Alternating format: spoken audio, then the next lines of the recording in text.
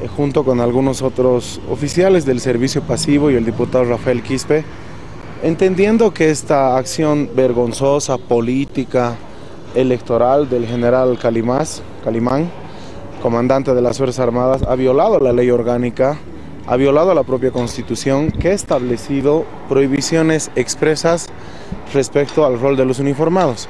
La policía y las Fuerzas Armadas no deliberan y si pretenden hacerlo deben abandonar el uniforme. Pero además estos llamamientos anticolonialistas, antiimperialistas y un montón de prosa lírica, lo único que hace es profundizar una discriminación interna, no solo dentro de las Fuerzas Armadas, sino que promueve y llama al odio eh, dentro eh, del propio país. La ley orgánica ha establecido también prohibiciones expresas respecto al rol de sus comandantes dentro de sus eh, más de tres docenas de atribuciones.